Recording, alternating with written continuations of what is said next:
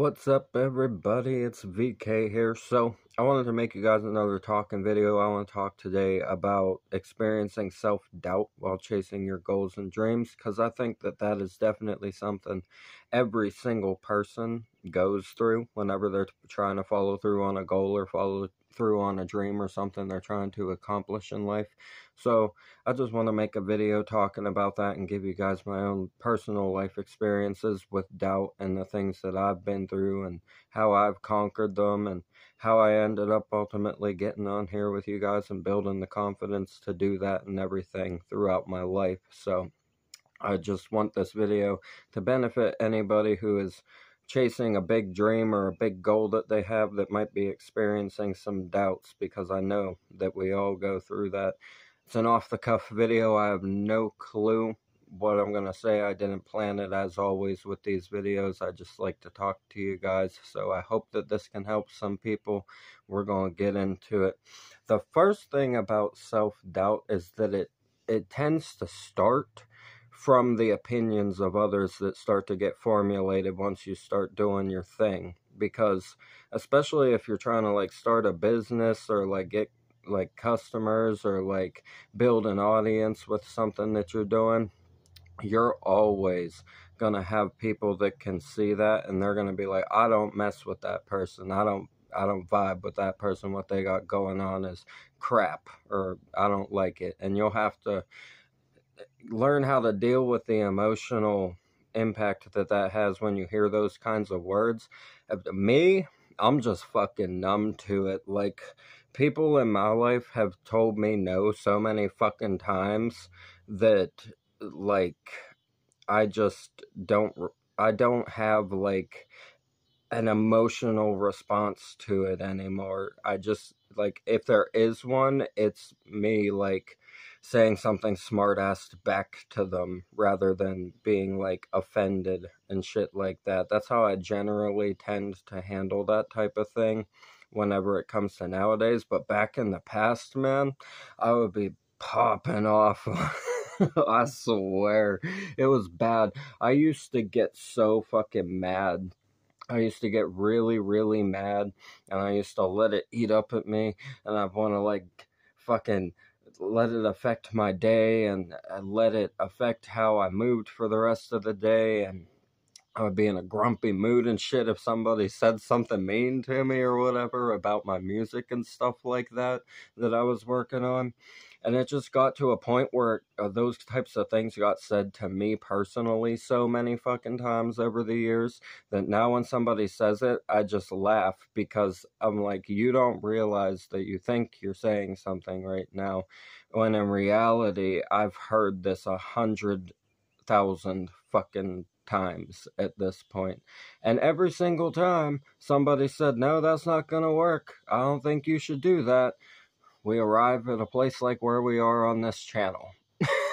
and then you'll have to deal with sometimes people will act bitter towards you or they'll like be weird with you because they got proved wrong, but they don't want to say congratulations or anything to you because that would be them admitting they're wrong. And people don't like to do that. You guys know people don't like to do that, especially when it comes to another person's success that they tried to thwart and say wasn't going to happen. So, with dealing with that, that's my best advice is honestly bear the storm. You might get your feelings hurt a couple times in the beginning, and that'll cause some self doubt like, oh, are these people right? That sort of thing. Don't buy into it, man. Don't buy into their bullshit. Don't buy into them telling you you can't do something. Anybody can do anything that they want to do. We all have free will on this planet. We can all make the life that we want. You could be a businessman one day, and if you want to start a fucking YouTube channel and inspire people the next, you can do both at the same time. And you can make music too if you want to at the same time. You can do all of it at the same time if you can manage the time and manage the stress of having that many things going on. So, whenever you're doubting, so if you're like, for me, like, let's say from a songwriting perspective, sometimes I'll write shit and I'll be like, questionable about it. Like, is that flow perfect? Are those words perfect? Is the message going to get across right? Did I tell the story good enough? And at the end of the day, it always just ends up being minimal editing at all because I realize that people vibe with raw emotion when it comes to songwriting, especially in the climate of songwriting today where there isn't a lot of emotional substance in what the mainstream likes to push and everything like that when you get the the gems that actually express valid emotion and tell proper stories with lyricism i don't think it matters how perfectly crafted the words are it matters how perfectly represented and real the emotions in it are. So like take that from a songwriting perspective for me and then if you're trying to open a business or something flip it to that like what what thing of marketing entertains people the most? What can we do to draw people in the best and entertain them and make sure they have a good time inside of whatever business it is that you're running? You guys know what I mean. Like, if you want to fucking open a restaurant or something like that, you want it to have like the coolest decorations and the nicest vibe and like the nice background music, the perfect songs and stations for background music for people to have like a nice romantic night or night out with their family or just somewhere that's nice to go that will get good ratings and good reviews and we'll get good marketing and everything. That's in the perspective of opening a restaurant or a business or something. You just have to think about it. And eventually, it'll get to a point where, even in the moments where you doubt yourself, you'll realize that every time you doubted, oh, people are going to hate this that I did, or people aren't going to like this thing that we're going to do realize that every time you've done it before and you've thought that, people came to you and said, Hey, I fuck with that and I really like you and I like what you're doing keep that in mind every time you have those doubts. Remember the last time that you doubted, and then remember what people's response was, Engage the fact that it's going to be that same kind of response this time, as long as you stay in that same wheelhouse that you know has been working for you.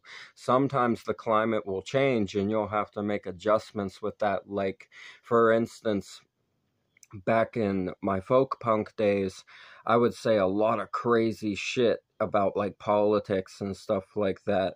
And now I aim more at the emotional perspective of life because I basically politicked myself all out. Like, if you want politics, go listen to my older music because I'm not going to write every song about that the way that I used to because now that I have more life experience, I want the music to emotionally help people and break the barrier of like feeling alone and shit like that. So you'll have to adjust to like the climate of your emotional situation and how you feel about the world and what's going on around you. Right now, I think that the only important thing about politics is fucking rebuilding them at this point into something that's beneficial for everybody. Uh, the world needs more emotion. Like, we need to connect with each other emotionally more. I should say that's how I'm trying to say this. We need to connect more emotionally with each other. So now, in my wheelhouse of songwriting and everything, I want the songs to represent that more than all the political issues and stuff going on in the world because we can cover those with talking videos and reaction videos when we do songs about that kind of stuff. So when it comes to the music, I don't want to dial in on that because I just want it to be a story of my life and what I experience around me and what I've seen in my life. And I want it to inspire other people that are struggling to also go do that same fucking thing for their self by growing and managing their emotions better and learning how to chase their dreams and actually accomplish them and everything like that and we still got a long way to go on like my ultimate goal for what I want to do with music and everything. Like we still got a long ways to go with that, but we're well on our way now thanks to all of you guys and thanks to what we have going on here. And that's the big step that got taken for me in the past year. It really it, it you guys don't realize how grateful I am because every person that ever told me that I wasn't going to be shit, you guys are the ones that proved that wrong. Not me. It wasn't me. It was you guys showing up and you guys sticking around and actually growing and building something wonderfully awesome with me on here that proves everyone wrong because I don't think anybody thought I had that in me because I was too like stuck inside of my shadow side, so to speak, when it came to being addicted to drugs and alcohol. But the second that was clicked out of my life, I became a totally different person and like embodiment of energy than I was before. I felt like I didn't even know myself at that point. So it's truly a blessing to be able to get on here and talk to you guys because not only did it prove everything that I believed to be true about never accomplishing shit wrong, it also provided a community where all of you can help each other and we can help new people that come in and inspire people to stop doing drugs, to stop drinking, to get closer to their own heart and to have God inside of their heart as well as one that I like to encourage to get closer to God and Jesus and live inside of faith better and really appreciate the beauty of life and how when you just kind of let go and let things naturally happen and allow God and the universe to move inside of your life, things just get moved out of your way whenever they're trying to stand in front of you at some point and that's been proven on here time and time again like i i can't count the amount of negative comments that people have been like stop doing what the fuck you're doing on here. Like i get them weekly. I just got one yesterday. I, I got one yesterday that was like telling me how to do stuff and shit. Not not um not the dills you know who you are. You'll probably see this video. The Dills, I liked your comments. Your comments were nice. I enjoyed those. There was different ones that happened on other videos from way back, older videos. I get like random hate comments on the old videos and stuff too. I just look at them and I fucking laugh. And every now and then I'll say something smart ass back or maybe like a little bit uh, back, but you guys know how it goes. You guys know I'm blunt, so I, I can't help myself. Sometimes I just want to be a smartass and say something back to somebody. But you don't even have to respond to that shit. Like, it's unnecessary. It's not necessary. You're not going to feel any more fool by responding. You're just going to kind of have acknowledged it and now move on still. You know what I mean? So it doesn't really matter either way how you respond to it. You just have to reach the point where you're still confident in yourself after those types of things are said to you and shit like that. So don't let anyone else make you doubt. Don't let yourself make you doubt because I promise you, if you just get out there and you do it, even though there's going to be people that hate what you're doing and there's going to be people that aren't fond of what it is that you do with yourself, that comes with the territory of everything. You can't be for everyone. Anyone that's for everyone isn't for anyone. So consider it like that, right? It's the same concept as a person being for the streets. it's the same concept anybody that is for everybody is not for anyone. so, like, you have to have that balance of people that don't fuck with what you're doing and people that do. Don't let it make you doubt. Get out there, chase your dreams, get good at what it is that you want to do inside of your life, and show people the growth inside of it show them that as time goes on, you're going to continue to get better and better at what it is that you're doing because now you've put it into practice. Now you've put it into a position in your life where you're so dedicated to it that it's going to get crafted a little bit more smoothly every day. Like if somebody's learning how to do pottery, eventually they'll be making the type of bowls that will get sold on fucking line a hundred years from now for like ten thousand fucking dollars just because it's like an artifact. You guys know what I mean. You guys know what I'm saying. So it's like the the quality will start to improve as you do it more. You can't worry about things maybe being a little shoddy at first. Like to say that my first music was the best stuff I've ever made It definitely wasn't. It, I don't think it was terrible, and I think the message inside of it was good, and I think a lot of people related to it, and I'm glad that they did, and I'm glad that it did its thing and benefited people's lives and inspired them and everything like that. But as time's gone on, I've learned how to take those same concepts that I was trying to express back then and say them even more poetically and even more deeply to where it's going to hit you even harder. And I've always had a really deep and blunt style of writing, so even the first songs I wrote were insanely deep. Like the song I have up on here, Fears of a Fearless Man, was one of the first songs I ever wrote. And if you go listen to it, the lyrics of it are really deep and emotionally beneficial uh, from a social anxiety standpoint and making people feel less alone inside of social anxiety. So even if it's a little bit not perfect at the beginning, just let the mistakes happen and let the little bumps happen. And before you know it, every single time you go to do something, you'll realize you're getting better at it. And you just have to take that and run with it and don't doubt the fact that you'll land in that great area that you want to be in, the level of greatness that you want to achieve inside it, whatever it is that you're doing, you'll arrive there eventually. And that's really all there. We reached our storage limit, so I had to start a second part. But no, eventually you will arrive in that level of greatness that you want to with whatever it is that you're trying to do inside of your life, whatever that is for you.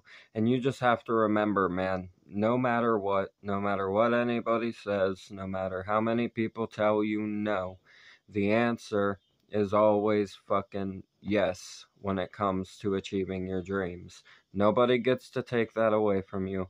Nobody gets to tell you the way that you're going to live. Nobody gets to dictate that.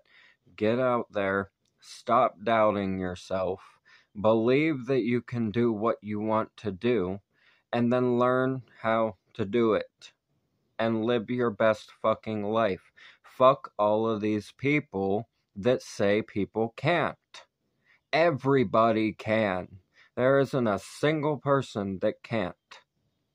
Everybody can live their best life if they choose to. It's all down to your decision making and it's all down to the moves that you make. So stop doubting yourself. Believe in yourself do what you love to do, and go kick some fucking ass. I had to get passionate for you guys towards the end here. I wanted to make sure that you guys really got the point there. Listen, I'm so tired of living in a world where people think they can't chase their dreams. That's really what this video boils down to. We can all have our dreams. We don't have to be jealous of each other. We don't have to tear each other down inside of it. We don't have to act like children because that's what that is, is acting like children. It's not high school. Go live your best life. That's what I have to say to close this video out. I love you guys so much. Thank you for turning this into an amazing channel where we inspire each other, where we can be here for each other and learn through amazing music and grow as people together each and every day. I'm very fond of getting on here and hanging out with you guys, and it means the world to me that you also feel the same way and come hang out with me. Thank you so much. Go get your dreams. I love you. Have a blessed night. Peace.